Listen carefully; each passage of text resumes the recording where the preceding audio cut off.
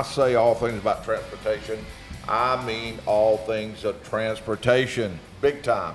For instance, today I am here with co-host Jim Pate at the Augusta Regional Airport getting prepared to watch the U.S. Air Force Thunderbirds perform. Jim, this is really exciting. Another day where we're all going to learn something. Yes, we Yes. will, and see some very exciting things. I look forward to that. And we'll also be answering some automotive questions, talking about all things aviation, including the Thunderbirds Air Show. And so, if it's Saturday, May 13th or 14th, 2023, and you are anywhere near Augusta, come on out and watch the Thunderbirds perform, along with a long list of other great performances. And you can also give us a call with a car question, or today you can also ask an aviation question, and that's at 800 224 9090. And that's 800 224 9090. You can also watch us live on Facebook and you can uh, also watch us live on YouTube. And the reason I mentioned you can uh, give us a call about things to do with aviation also and this aviation air show or this, this air show that we have here is because we have a great guest with us here. We have Chris Dorado. And Chris, welcome to the C&C Auto Show. Well, thank you very much. It's great to be here uh, in Augusta, and you know this is the Augusta Air Show. Uh, so we're looking forward to putting on a great show today, and uh, the weather looks like it's going to cooperating. As Brian Lilly, the air show director, always says, it looks like Mother Nature attended the planning meetings, so uh, and cooperated. So uh, we're looking forward to having a great show today and, and, and putting on a putting on a uh, exciting performance for all the fans uh, in, in Augusta in the Augusta area. Oh, this will be a huge amount of fun. I'm a, I'm, I'm a very big Thunderbirds fan. Of course, I was in the Air Force.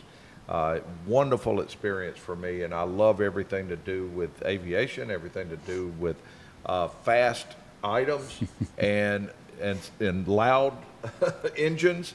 And the Thunderbirds fit in with all of that. You're going to get a lot of that today. A lot of noise, uh, a lot of uh, oohs and ahs from the fans because uh, you know these these great aviators. Uh, and again, it's not just the Thunderbirds. We have the you know F-16 Viper demo team at a Shaw Air Force Base in, in South Carolina.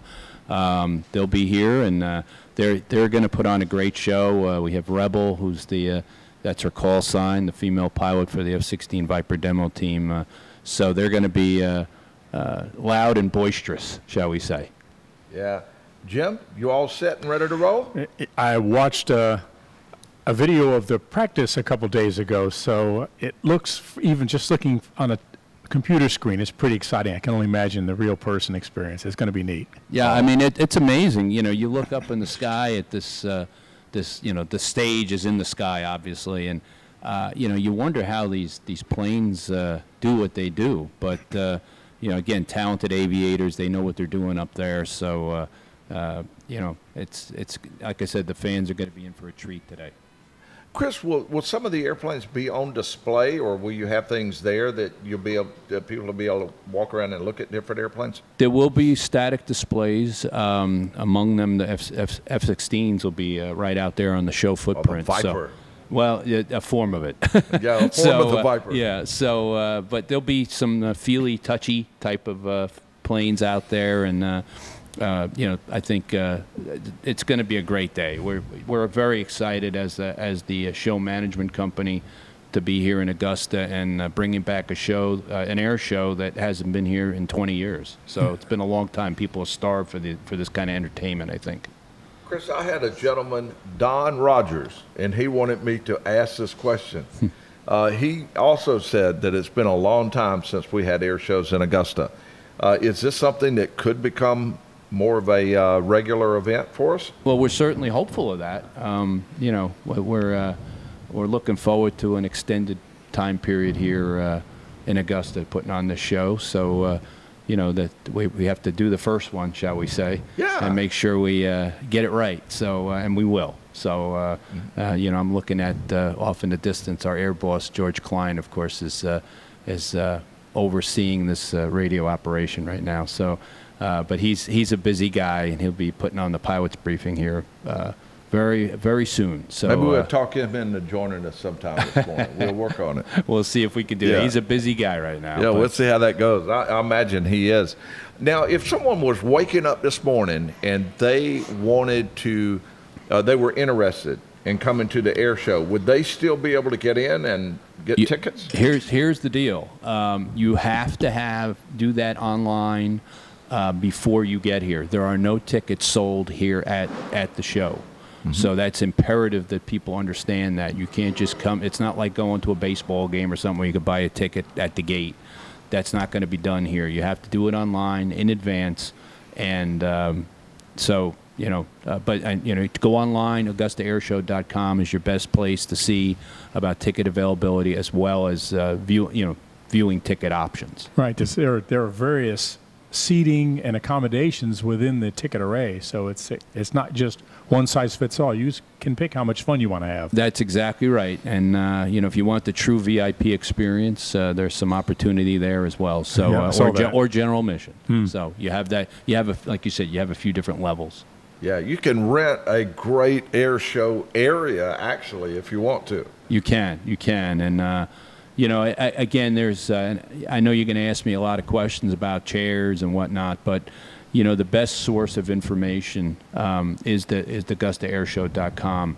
There's a frequently asked questions. Uh, uh, section that you can hit on, and uh, it'll tell you about whether you can bring chairs and coolers and you know sun umbrellas, etc. So, uh, but obviously, the recommendation, uh, given the weather conditions as we speak, I would highly recommend sunglasses and suntan lotion. Yeah, that, that I- just improves the experience when you bring your sunglasses. Yes, uh, uh, to an event like this, and and some suntan lotion because even though it uh, it don't look like you would burn, you will burn. That is correct, and it's going to be, uh, I guess, relatively hot from what I gather. So obviously, uh, uh, staying hydrated is going to be a very important uh, fact, and you know, water water will be available out there. So uh, make sure you're hydrated. And a camera with the best zoom lens you could get. You got that right. You Yeah, got one, that one right. that can handle motion. Yeah, yeah, and and be yeah be be ready to move the move the camera quickly.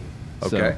and I imagine food will be available. There'll be places to buy food out there. there's there are food vendors, so Uh-huh. uh, and uh, you know so. uh, It's going to be a total experience. You know, I, we talk about air shows being family friendly, and uh, and and and it, is. They are. You know, we we encourage families to come out. And it could be an educational experience for kids.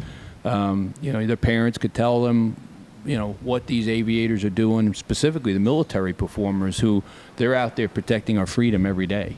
So uh, it's very patriotic in nature, air shows, and uh, you know you're going to see the to kind of tip off, tip it off a little bit. The SOCOM Paracommandos uh, out of MacDill Air Force Base in Tampa, they uh, they're the parachute team of uh, made up of different military branches, and they're going to fly in with the American flag. And, and, and I've always I've said this you know, for days now. It's really a goosebump moment when they come in with the American flag. It's it's it's really an amazing experience. this is a very patriotic event, Yeah. and, and and also it's a it's a time to show the love for your country. It is. It's a, it's a you know wrap wrap yourself in the American flag Yeah. uh, type of event, and uh, you know so we hope fo- folks come out and do that very thing. Okay, I uh, Chris, you you hadn't been on the show before, but one thing that we do during the show is we throw out a tick tip quiz for people. Oh, boy. And they answer, and they get this huge prize. It's I mean, and it's that's okay. You don't have to answer it. I well, if I could try, You but I probably would get it wrong. That's for Yeah, sure. but it, but it's kind of a it's kind of a big deal, really. Yeah. Okay. Uh, people win a, they they win a coffee mug. Oh wow. Okay. And, and sometimes a shirt. Mason's been known to throw a shirt in there, and of course the um, the tech tip quiz is Scooter has a 1945 Mustang that his father restored. You may not have heard of a 1945 Mustang, but Scooter not only has one, but he uses it for trips all around the country.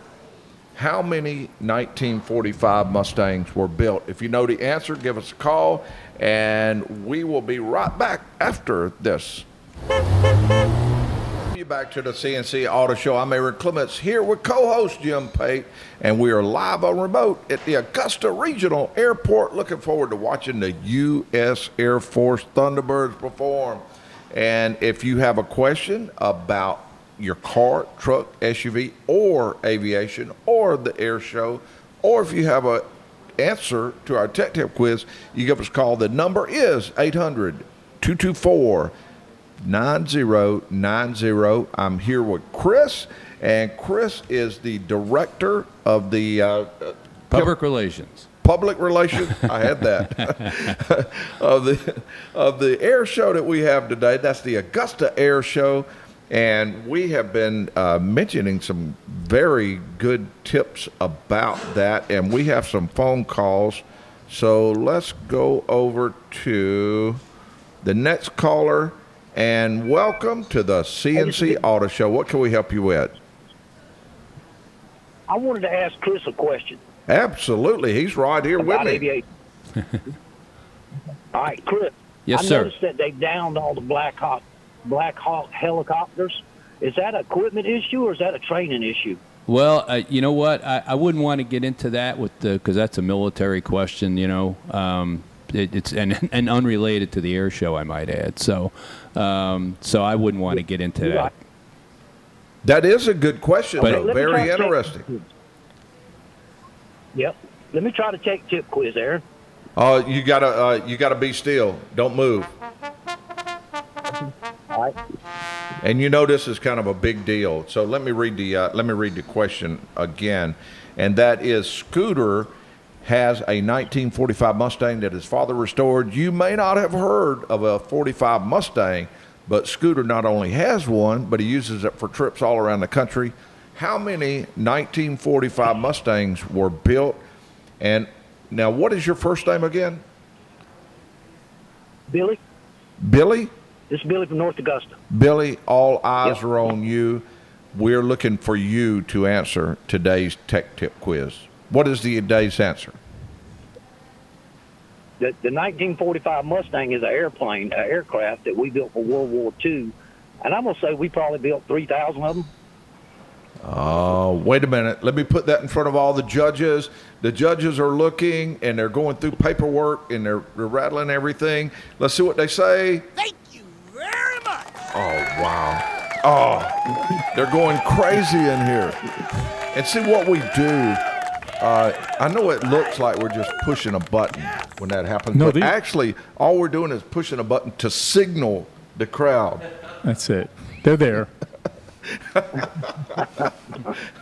Yeah, they're going, they're going absolutely crazy. You're absolutely right. The Mustang that Scooter owns is a P51 Mustang, and I'm not sure if it, uh, how many were actually built uh, of the 90 of the 1945 Mustangs, but I do know that roughly 15,000 P51 Mustangs were built, and we lost around 2,500 of them during World War II. But they are there's still around 100 of them in flyable condition. Uh, but they are just an absolutely awesome airplane, and they played a big part in the success that we had in And- World War II. You're absolutely right. A lot of others were sold to other countries as years went by after that, but uh, beautiful airplane, absolutely beautiful. So this Can is I ask Chris another question? uh, do what now? This this is this is from the old time. Uh, this is from old planes, so maybe he can answer this. Uh-huh. How long did it take them to figure out how they could shoot a gun through a propeller of an airplane without tearing off the propeller? Is this a trivia question? No, I, I have no idea. Well, I wouldn't. I don't know that. Yeah, I, I mean, if you know that, you tell me. You know, I I- did read an article having to do with that one time, and, and of course it was. I didn't forgot the uh, the person who actually solved that issue, but it had to do with the timing uh, mechanism of that. Jim, do you know more on that subject? It sounds like a good question. Okay, I- you got us on So- that one. But uh, but here's what I normally do. After somebody asks something like that, I go back and research it, so I will know the next time you ask. You coming Thank out to the Thank air you so show, hey, Billy? got- I'm gonna, I'm gonna try to get out there. It's a beautiful day. Um, you know, I took chemo, so I can't be in the sun too much. But that sunblock 70 works. I'll be out there a little while. That's a good deal. You're gonna you're gonna see a great show. Trust me. Yep. Thank you, Chris. Thank you, Aaron. Yep. Hey, Thank Billy, you. we appreciate the call. And we are at Augusta Regional Airport for the Augusta Air Show. Chris Dorado's here with me, co-host Jim Pate is here with me, and we are talking about different tips on being able to come to the show. We're also answering aviation questions, and we're asking other questions. Uh, we're answering automotive questions and aviation questions. And we, uh, Chris, uh, as far as the schedule goes, what time do some of the events start? Well, uh, and Jim's got it in front of him too. But uh, you know, we're going to start off with uh, at 11:30 with the uh, SOCOM Paracommandos bringing in the American flag, and and then uh, we're off and running. At that point, uh, you mentioned Scooter. Uh, that his his that's his nickname. Scott Yoak is his real name, formal name. Uh, who will be uh, piloting the P-51 Mustang, and and interestingly enough, rather than going through the whole schedule this second, but yeah, we're, we're just to give you a synopsis, we're, we'll go from the P-51, and then we'll do a, a helo demo with the Georgia State Patrol. Greg Koontz, who's a, uh, in his decathlon, he'll be doing an aerobatic performance. Uh, the Sky Soldiers will be doing uh, some a helo demonstration, and um, then we. But to, to the to the point about the P-51 Mustang, they'll actually uh, he'll come back. Scooter will come back and do what's called a heritage flight with the Viper uh, F-16 Viper demo uh, folks, and um, it, it, it's really heartwarming to see that because it's a a past and present scenario for the Air Force, and to see these two planes flying side by side, i i it's just amazing. It, it's literally a, a, a, a photo opportunity. Wow, and that's what I was thinking to actually see a P fifty one flying with a F sixteen. It's, it's amazing. It really is. And they do, uh, they do they'll do a few what I call laps. that's that's my auto racing background coming through there. But um, they'll they'll do some uh, passovers in, in a variety of directions. So uh, you know it, it's something that everybody, if whoever's coming out to the show, you know you're going to want to have your camera ready for that because that's a that's an awe awestruck moment. Wow, I know I'm looking forward to that.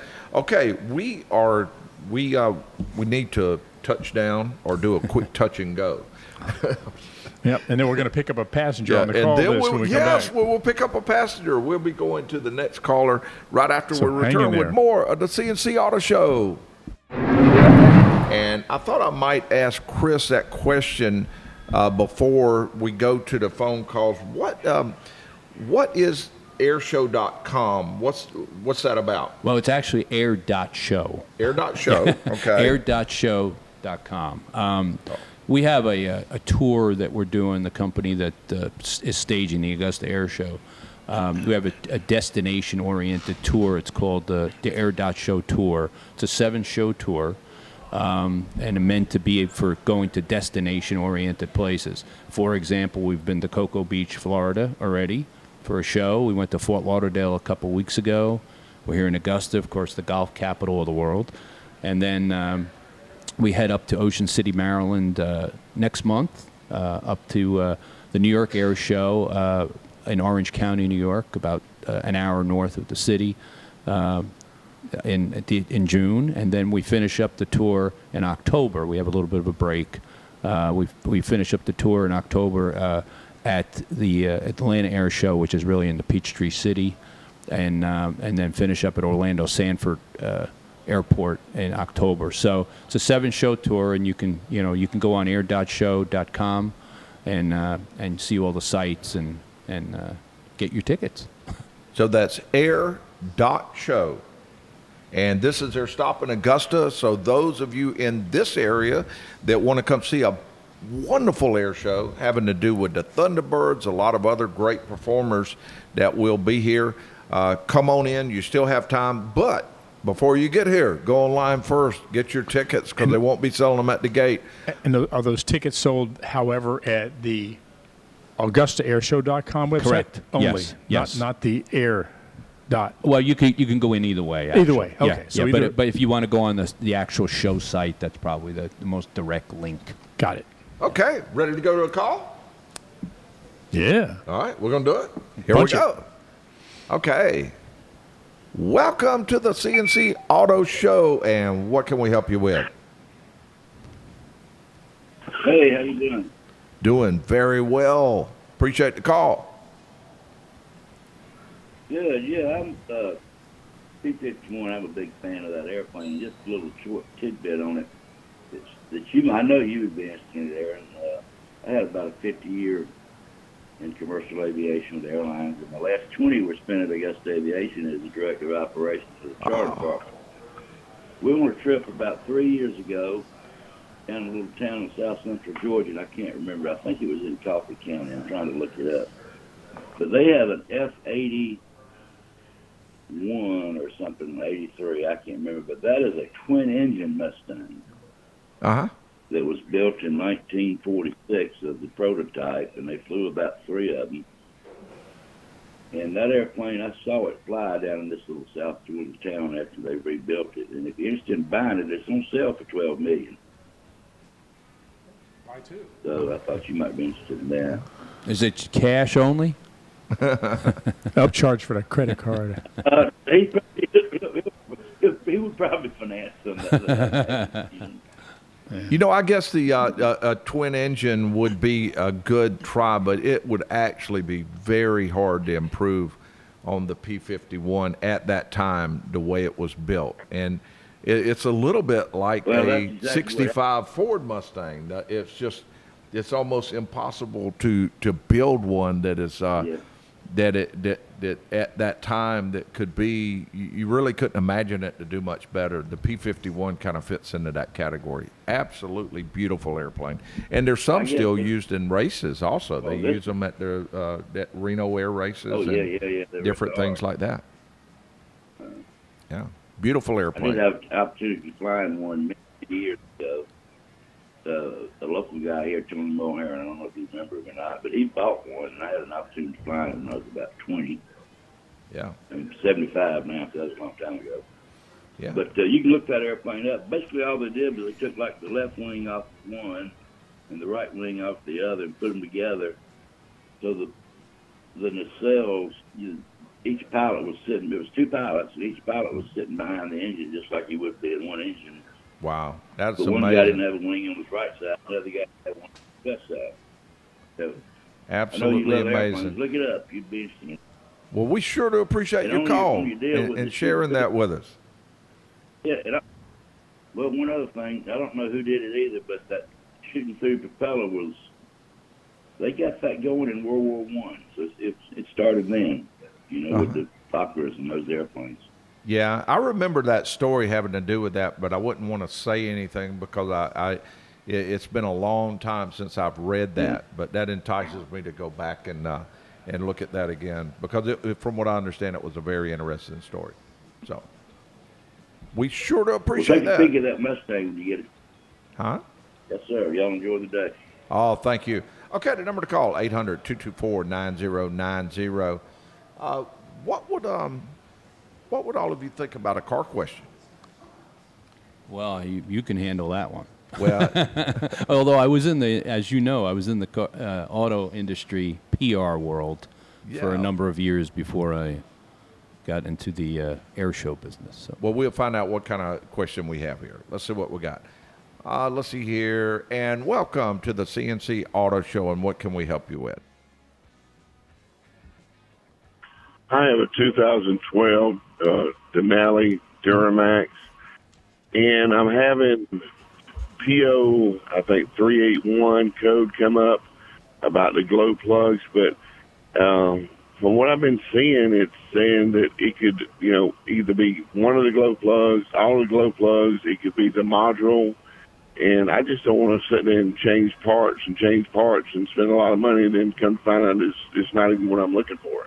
Yeah, I wouldn't do that. And if, if all you're looking at is the code itself and making a decision on what part you're going to replace, that's exactly what you'll do. You could replace many, many parts and never hit the right one.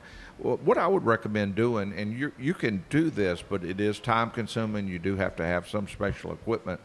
Uh, one of the things that you want to do is go in and go follow a chart that's on that code that has to do with uh, doing different things. It might say check voltage on uh, wire pin number two, uh, and it'll actually show pictures of where the wire is, pictures of the pin, uh, and then you'll follow this chart. Now, if, if there's a chance on that particular code, it might boil down to saying it needs a module because that wouldn't be unusual.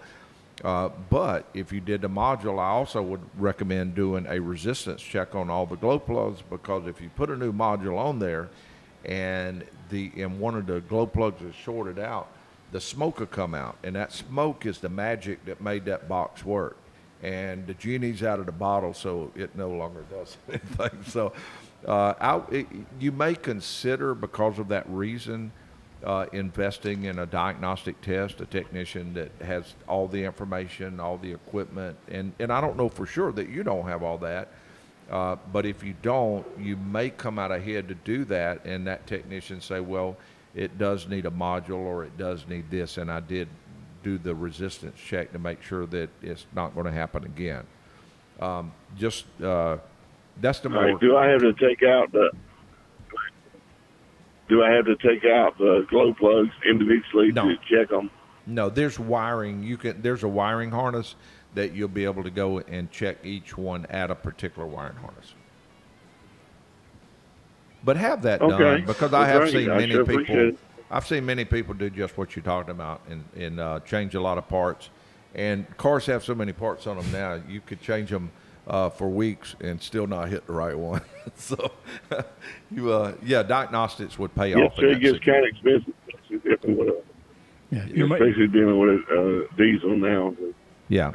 They're very expensive. yeah, some diagnostic money spent is a lot cheaper than the parts cannon. Yeah, sharp, sharpen twice, cut once. How's that? All right. Hey, we appreciate the call very much. All right. The number to call, 800-224-9090 if you got a question about your car, your truck, your SUV, or a or the Augusta Air Show or any of the air shows that's going on around the country. Uh, that's um, that's with Air Dot Show.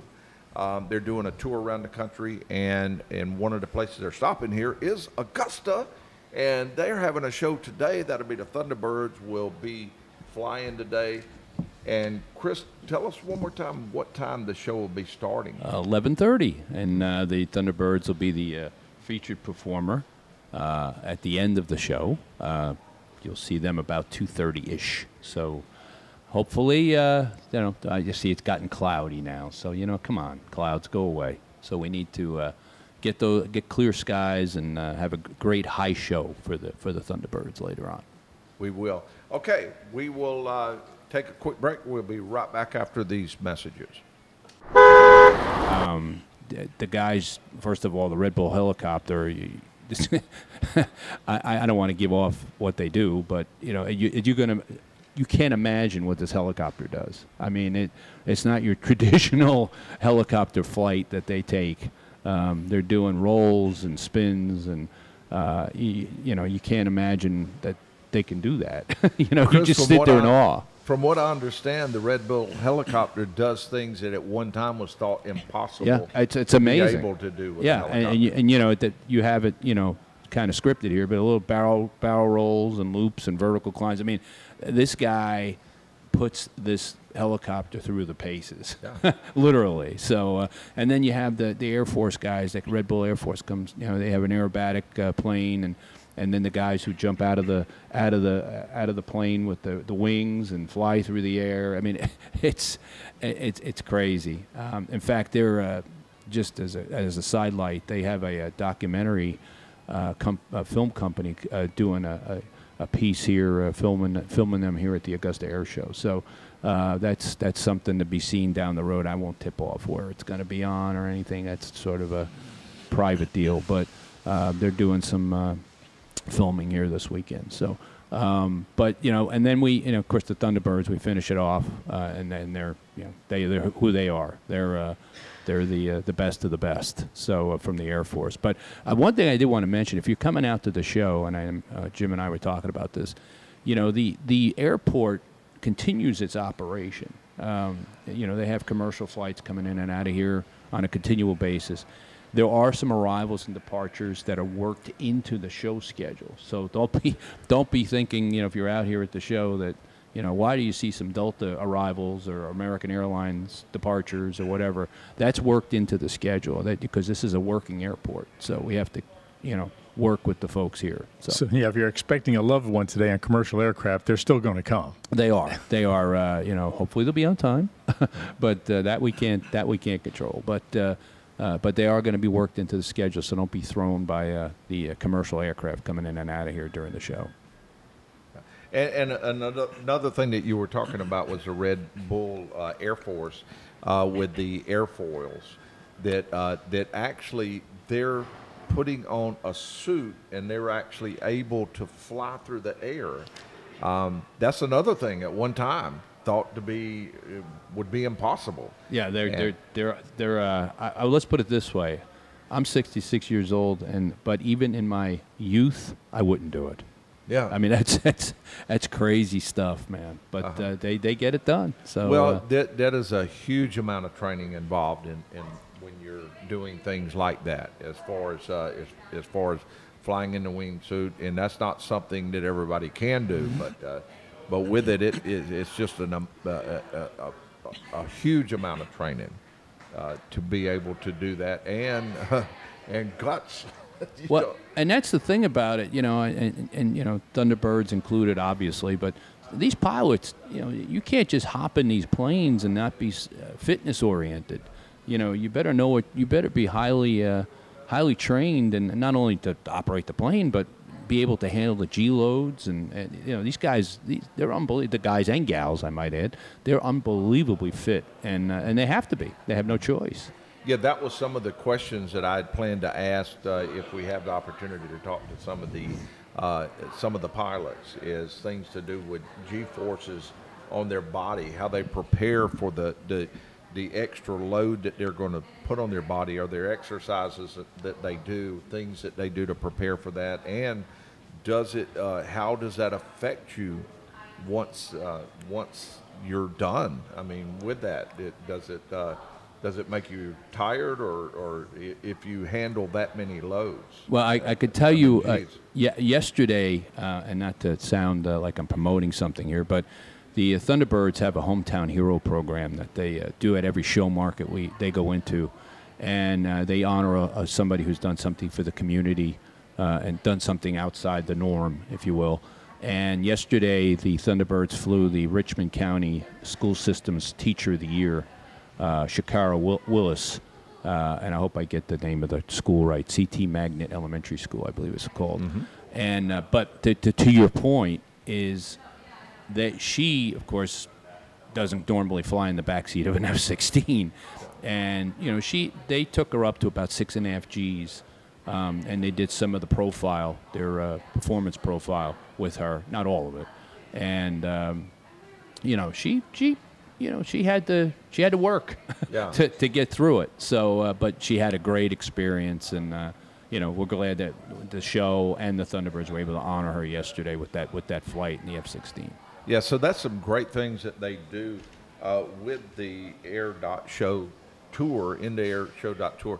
They, as they go into different communities, they provide a lot of uh, benefits for that community and try to help the different communities that they go into uh, with the shows. Chris, I wanted to say a few words about the Thunderbirds, uh, just so everyone will have a few details about what they'll be seeing. The Thunderbirds were formed in 1953, and they've been performing for over 60 years, from what I understand. That's correct. I mean, they, their history is uh, incredible. Um, you know, and they, you know, they they uh, they come up come here and they do the Delta formation. They have solos that fly. I mean, the, the speeds are incredible. You know, well over, uh, you know, uh, 700 miles an hour at times, and you know, so. Uh, but they're again, I, I say they're the best of the best, and uh, and they'll- put on a tremendous performance. In fact, just as an aside, a couple years ago they changed their whole demo, uh, and they used Disney uh, uh, to help create the demo. Um, so they, so that's something that you'll see here in Augusta for the first time, I think. Um, so it's it's a it's a brand, still virtually a brand new demo for them. Yeah, and, and, and just uh, just to give an idea of, of what they're doing. Now, the, the F-16 can fly Mach 2, 1,500 miles an hour, uh, but they do they do back off on the throttle a little bit for the show at 700. Yeah, you don't want you don't want a lot of uh, car windows. Not to mention we're in this beautiful uh, aviation services uh, FBO here at Augusta Regional Airport. We don't want the windows busting out of here either. So, uh, Uh, so they, they keep it just under the speed of sound. And from what I understand, they get they can get down as low as doing some of these performances down to to a hundred feet off the ground at, at, at somewhere five, six, seven hundred miles an hour. And and some of the performance the that they're doing out there, they're they're like somewhere around uh, 18 inches, two Yeah. foot, uh, two I think, I think that, that happens in the uh, formation of six, doesn't it? That's right. Well, or the Delta formation when they're, when they're in the four four ship. Um, it's it's amazing. Uh, you know, again, And even and I understand you get, when you do the six, that's even harder because you've you've aggravated the uh, challenges by increasing it by two yeah, a little four to two. turbulence, as they call it. But uh, you know, there's a wake in the air. But it it again, these they, they train and train and train. It's not like they just get up there and do it, you know, on a whim. Uh, they're constantly training to do this. So They're- uh, they're- they're great. Some of the best of the best. They are, and uh, you know, we had the just as an aside, we had the Blue Angels, uh, U.S. Navy Blue Angels in Fort Lauderdale a couple weeks ago. Not to mix apples and oranges here, but they are also the best of the best. So we we have some great aviators uh, in our military, believe me. And we, uh, the C&C Auto Show, we're wearing the red, white, and blue. And I tell you, uh, things like this make you so proud to be an American. And we need to prepare for landing. We'll add some fuel. We'll be back with another hour of flight very shortly. I'm looking forward to seeing our second hour. I also want to give a big thank you to our co host, Jim Pate, show producer, Mason Rogers. And thank you, Chris, for being here. Chris Dorado is here with us and gave us a great update on the Great, great, air great show. help, great amount of information. It's wonderful. And thank you all that tuned in and called in to the C&C Auto Show.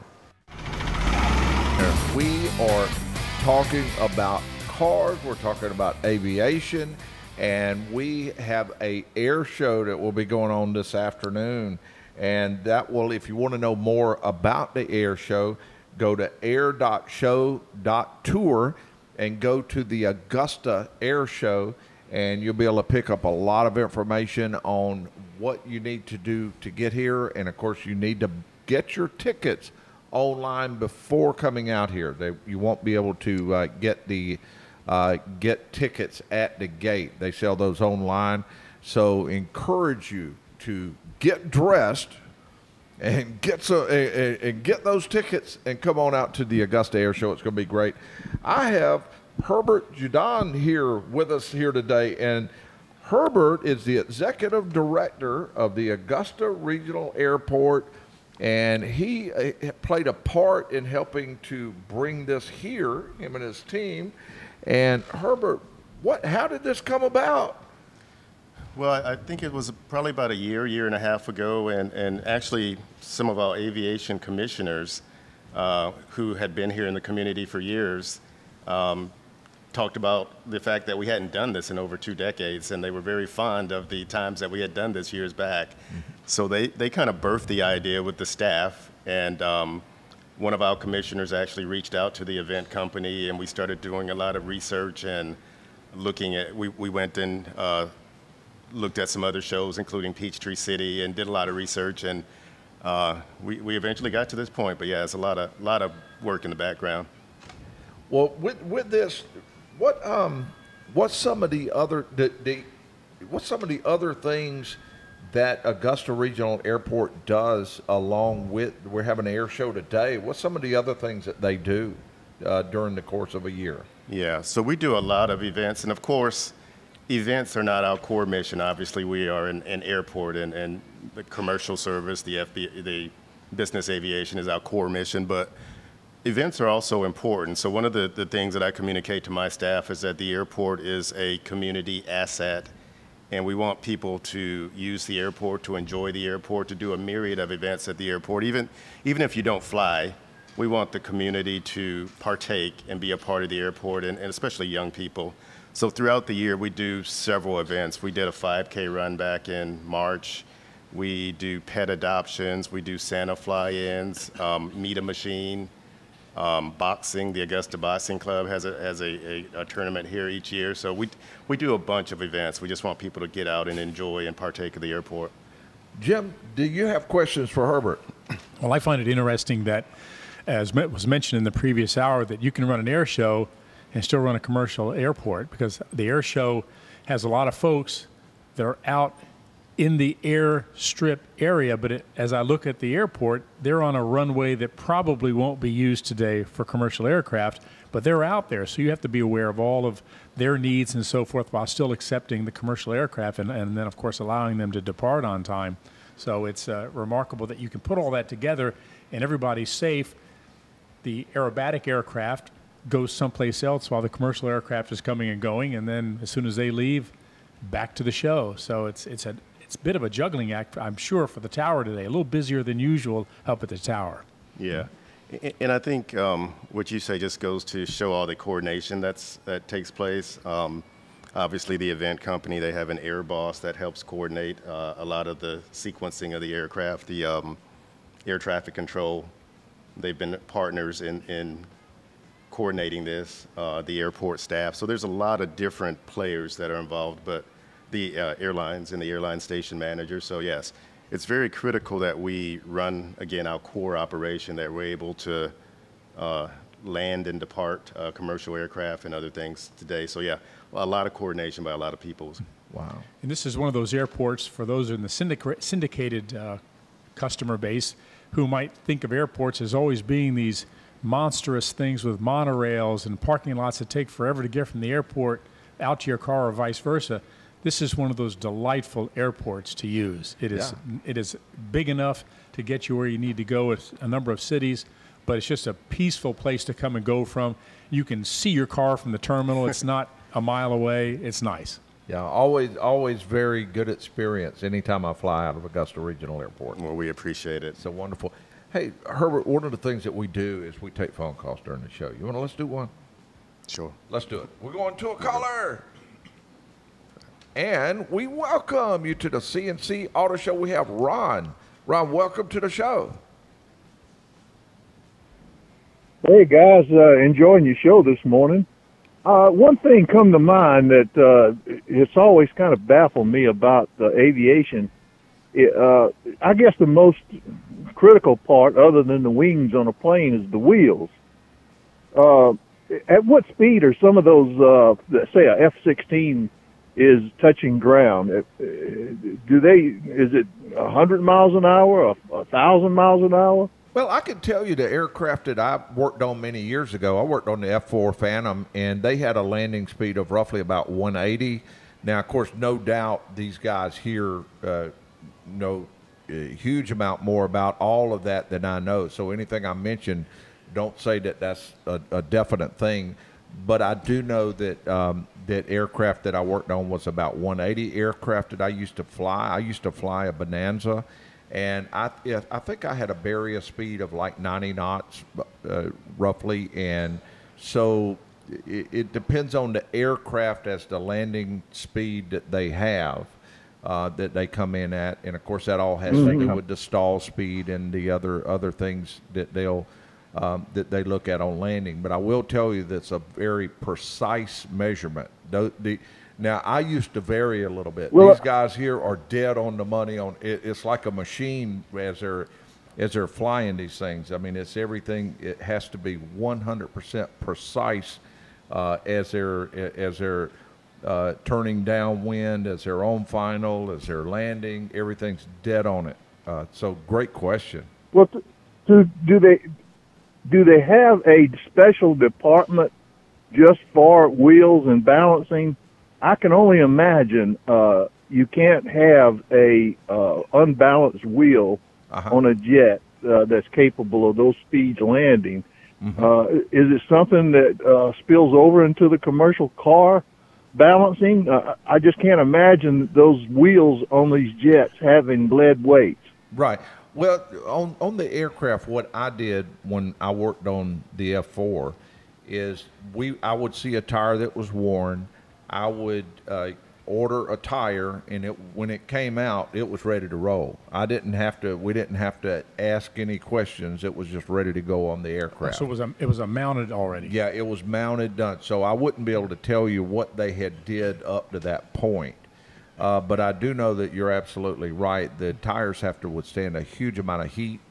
Uh, the uh, the balancing has to be good because anytime you have something spinning at that fast, it has to be balanced correctly. And it goes from not spinning to spinning Well, fast, it- real fast. It's the reverse of a burnout every time it lands. Yes. I know when you ever see the pictures, uh, I used to live close to the Atlanta airport, and sometimes uh, we'd take a ride out there to watch them land and take off, and they would, uh, you would actually see the tires smoke when they hit the ground, and I'm assuming that's the friction just burning rubber from that tire being static, and then it's, it, to me, it's amazing to me that these things even hold together. You know, we got Uh, a quick something like minute. a, a C-130. Ron, we got a quick minute. That's a great question that we can ha- ask Herbert. Herbert, do they, after a period of time, have to remove a certain amount of rubber from the runway? We do, yeah. And um, for the, we usually do it about once a year or so, but uh, it just depends on the amount of um, operations that you have at a particular airport. And, and there's, there can be environmental issues as well, you know, depending on the, the weather in a particular airport and the, the, the type of surface, whether it's a concrete or a, an asphalt runway. But yeah, we do have um, commercial companies that come out to airports and, um, and do that for And us. And we- clean that rubber off. Right, and there are also systems that um, that test the, the, the friction of the runway. Great. Herbert, I sure do appreciate you being here with us, Yeah. answering questions. Thank you, Fantastic. thank you. And congratulations on All a great event. And Ron, we appreciate it. Uh, appreciate the call. We're going to be taking a real quick break. Kick, Oh, kick t- the tires and light the fires. I love it. hey, thank you, Ron. Okay, we'll be right back after this. Hey, And we are answering air show questions, car questions, and we are here with Chris Dorato. And he is answering questions having to do with the air show. And he can uh, he can give you a, uh, a great update on some of the things on, on how you can get tickets to the air show, some of the things that they'll be doing in the coming uh, months having to do with air shows uh, uh, around it. Um, mention again some of the the website that people should go to if they're interested in attending an air show. Well, specifically this one, uh, the best one to go to is AugustaAirShow.com. Um, so, and again, emphasizing, stressing, all capital letters, exclamation point. Um, you need to get your tickets in advance uh, online, and if you're going to come out either today or tomorrow, Sunday, uh, at Augusta Regional Airport, uh, no tickets will be sold at the venue. So, um, but AugustaAirshow.com.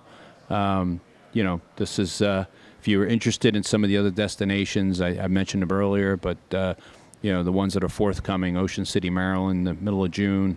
Uh, New York International Air Show, the end of June, and then we uh, wait until October for Peachtree City, the Atlanta Air Show, and also the Orlando Sanford uh, uh, Air Show in Orlando Sanford Airport. So you can go on air.show uh, on on the tour site and uh, get tickets for those for those respective shows. Fantastic. That way, for those listeners who may be listening uh, in a different area than the Augusta area, they're not able to make this show. Go to air.show tour and they will be able to look and find the air show that's closest to them, get a date, and I imagine they'll be the same way. You'll need to buy your tickets online. That's always the case. Uh, you know, we always prefer that, obviously, uh, and you know, so we don't get overwhelmed Yeah. at, uh, here at the show site. So, uh, you know, that's always the preference. Get get them in advance. Chris, you want to let's take a caller? Sure. Jim, what do you I, think? I think it's time. It's time. All right, let's go for it. Let's go to the next caller with the C&C Auto Show. What can we help you with?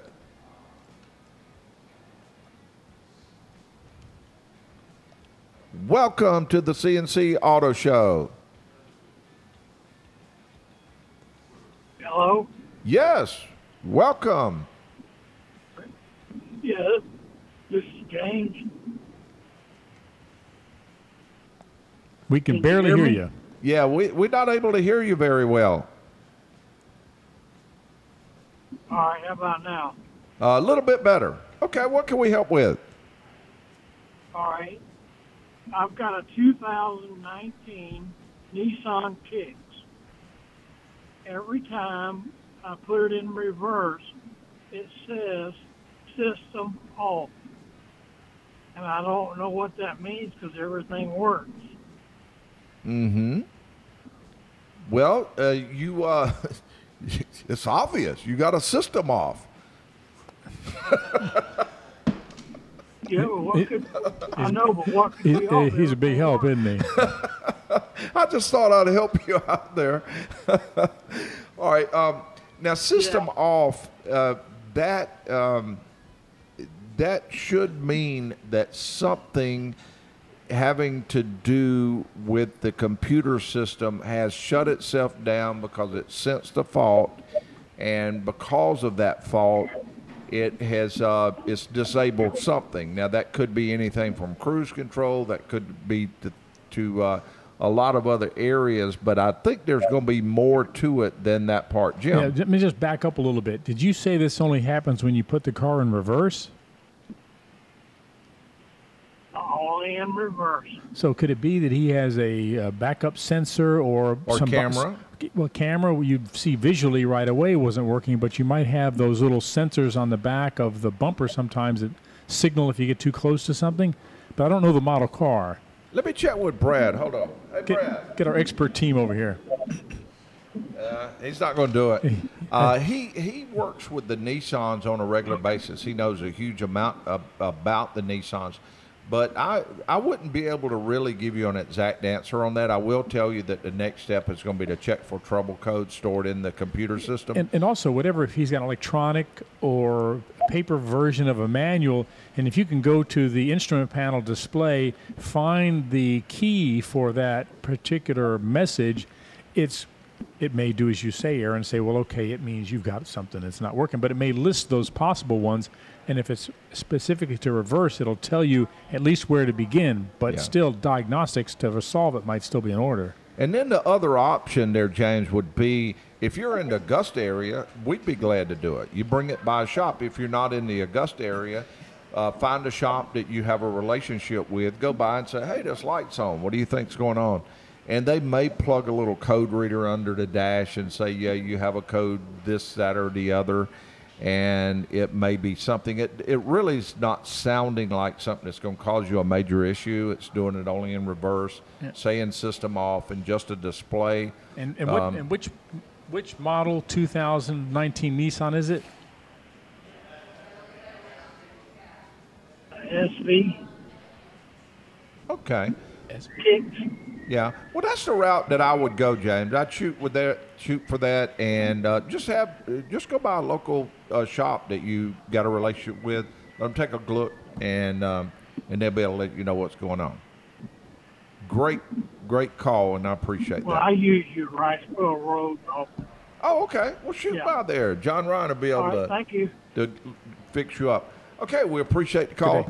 Uh, number to call 800-224-9090. Chris, um, do you, uh, tell us a little bit about the diamond. Uh, from what I understand, they have the diamond remove, uh, maneuver that the Thunderbirds fly, and that's hundred feet off the ground. It's a it's a four ship formation, and uh, you know they again uh, it's amazing what they do.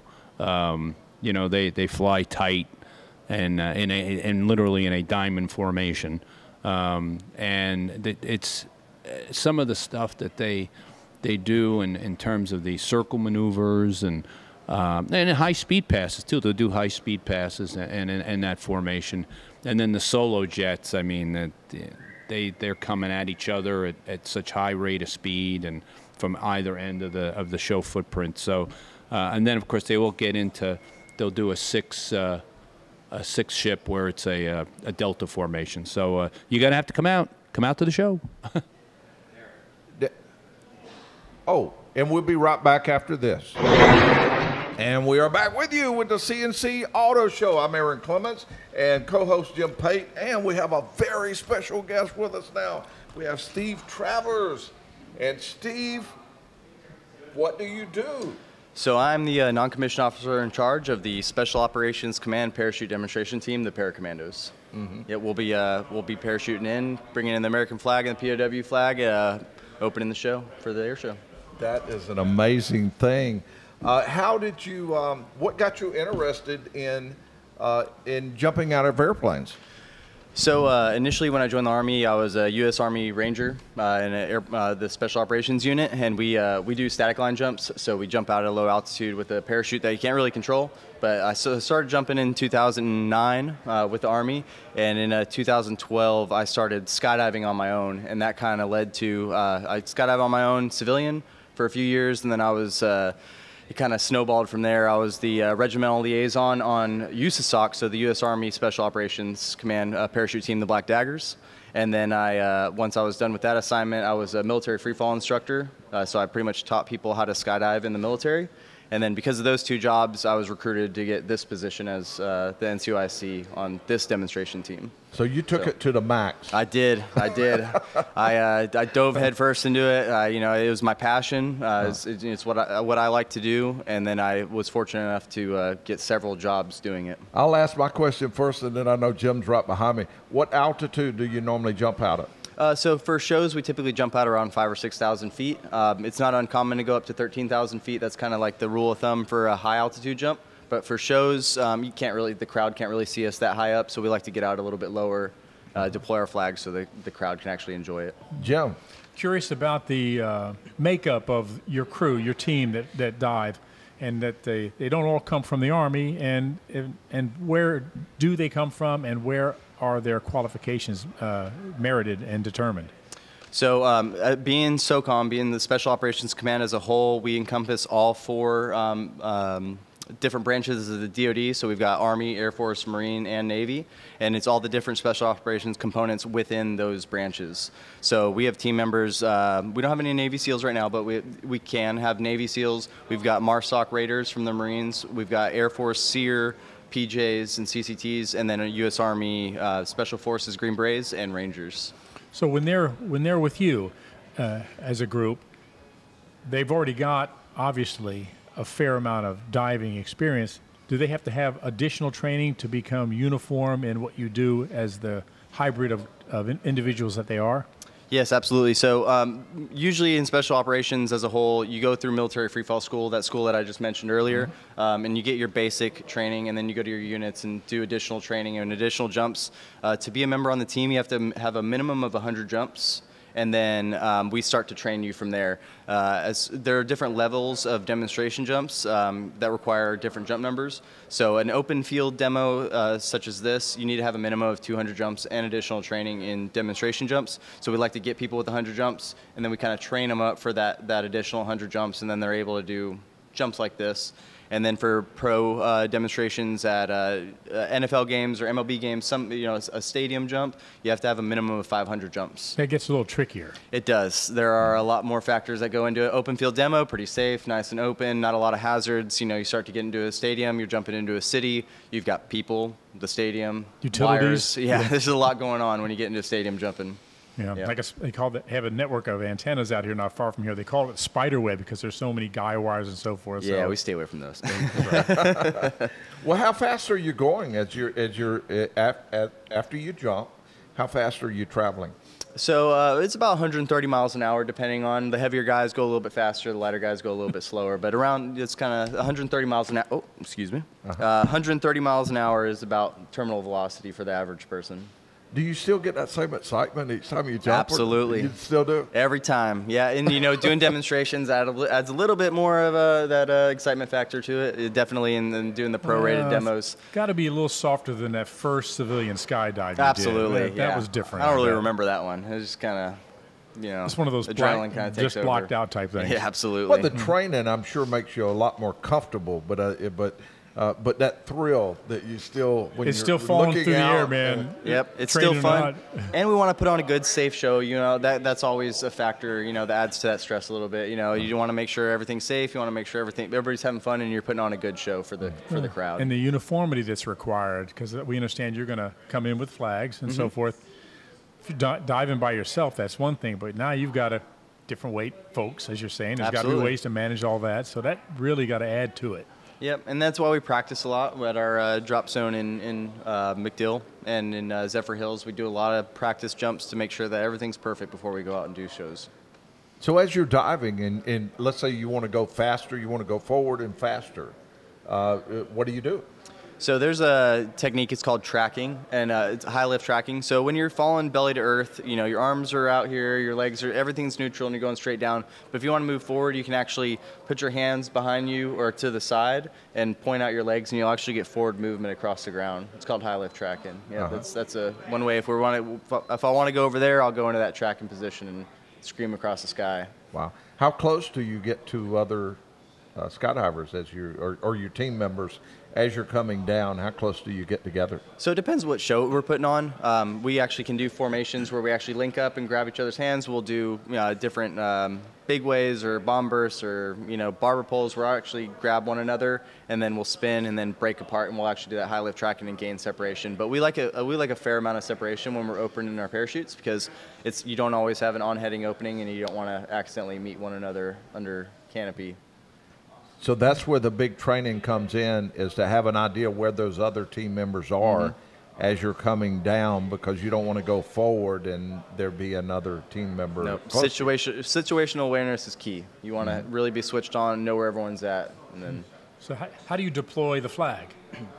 So the flag, um, we don't, we're not jumping the trad- traditional drop flag right now um, because some things changed, and right now we're not allowed to do that uh, as a duty as a whole.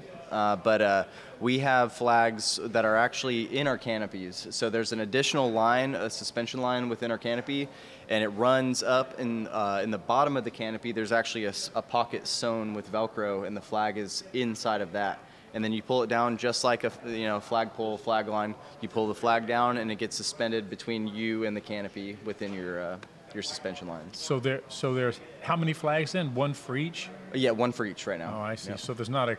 So at one point there was a collective, individual flag. Is that what you're saying? That's Well, there done? used to be a large drop flag. There's actually a big um, uh, pack that we had in front of us. That's what I'm thinking And you about. drop the you know 2,000 square foot American flag or POW flag, but uh, DoD regulations just changed, and we can no longer jump those because you can't you know prevent it from touching the ground. Um, Yeah. And so. We like to do that. Uh, we always had a, a you know a crew of five or six people out there to collect it up as fast as possible. Um, but it, it you know and we it was a banner, but you know it's an American flag and the regulations are what they are. So, so it wasn't a hazard. It wasn't a challenge. It just was a respect for the flag. Yes. It's that's that's worthwhile. Yes, sir. Yep. That's worthwhile. Yep. So there's no question you have to stay physically fit to be able to do what you're doing, not only there, but also as part of the military functions that you uh, have to be available for. You're, you're, uh, you uh, uh, work on staying physically fit all the time. Yes, sir. There's a standard in the military, and the standard should be met at all times, and that's you know physical fitness is part of that standard Yeah, for there's sure. no room for erosion of those standards in your field. Maybe someplace else there's some things going on. No, but sir. Not what you're doing. No, sir. No. Good, good. Yeah. Well, I want to say that uh, that people like you, uh, heroes, uh, you make me very proud to be an American.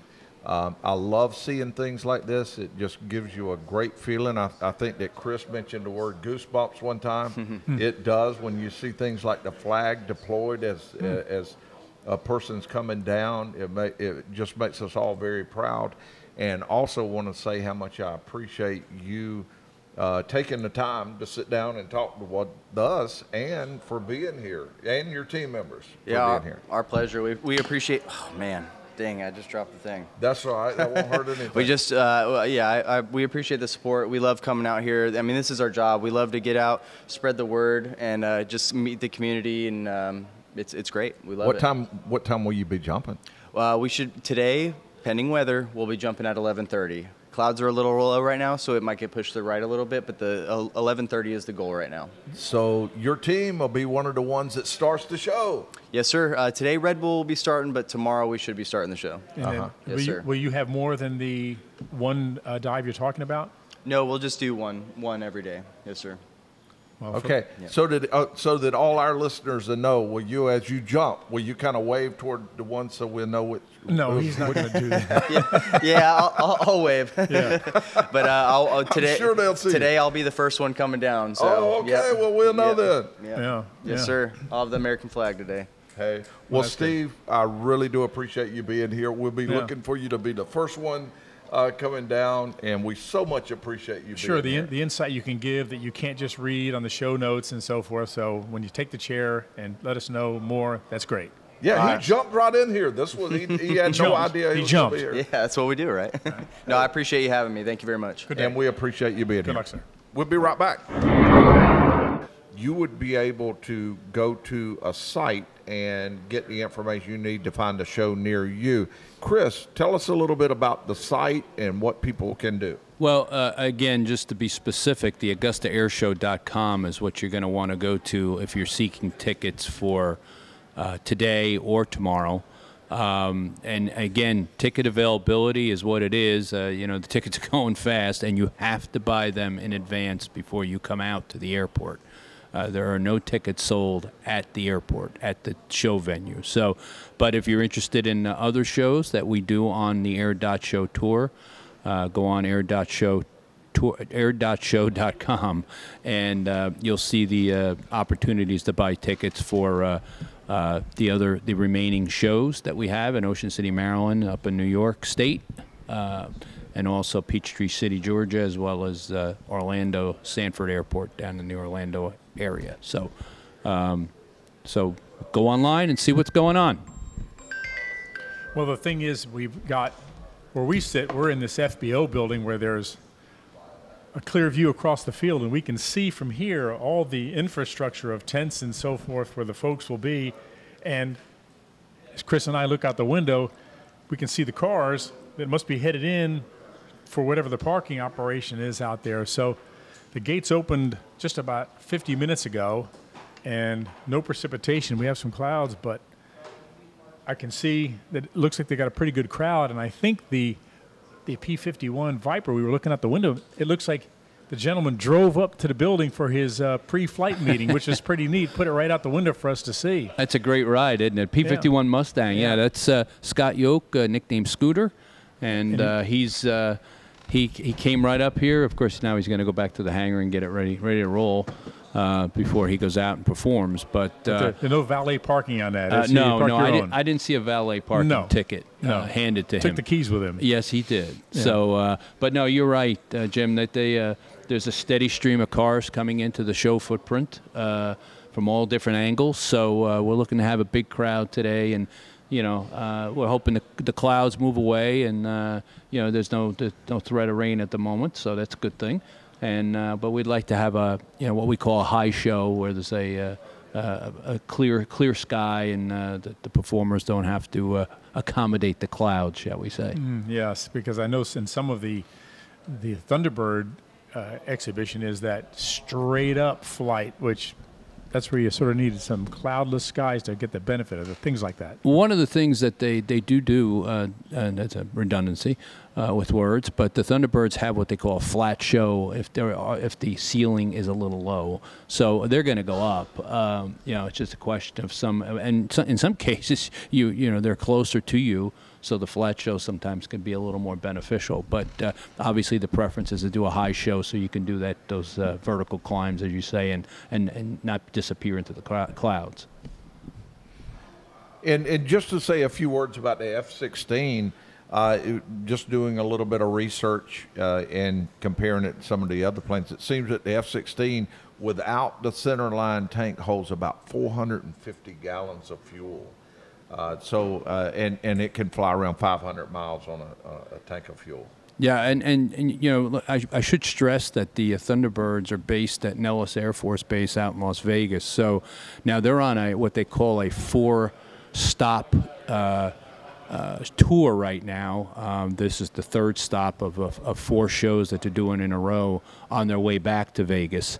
Um, they go from here to Lake Charles um, for next weekend. So, uh, so, but the, the, to your point, um, you know, when they're uh, flying across the country, which they'll be doing after the Lake Charles show, they come back across the country to do a, a show at Jones Beach in New York City. Um, so that that will require a, a tanker scenario for those uh, those planes to, or or a stop someplace for those planes to make it across country back to New York City. Now, just to give people a little idea what's involved in this, uh, along with the team themselves, the aircraft themselves, uh, there's a lot of support that goes on to making uh, this happen, uh, the Thunderbirds happen, and not to mention all of the other team members. And this was an amazing thing for me. I was uh, just uh, during our uh, just after our first hour, I had the opportunity to peek my head in there, and there was it was just uh, amazing to see uh, Thunderbird pilots, uh, so uh, uh, paratroopers, just all of these people were in there in inside that one room. Uh, discussing what what to expect during the course of the day, and of course what to do and coordinating during the show. Well, and what you're referencing is it's called a pilot's briefing, which is done Friday, Saturday, and Sunday, and, and is required by all the performers. They have to attend if they're going to fly. Um, and there's a number of different uh, items that are uh, uh, on the agenda f- that the air boss uh, goes through. Uh, during a period of a half hour to an hour, depending upon how much discussion is is taking place. But um, but you know, it, it, talk about the logistics. Um, you know, we could talk about the logistics of putting on the air show in general. I mean, there's, there's a lot of moving parts. This is not just a push button operation, but there's logistics for all the teams that arrive here, specifically the Thunderbirds. You, uh, you, you were mentioning about when we when they arrived here on Monday, last Monday. It seems like uh, ages ago.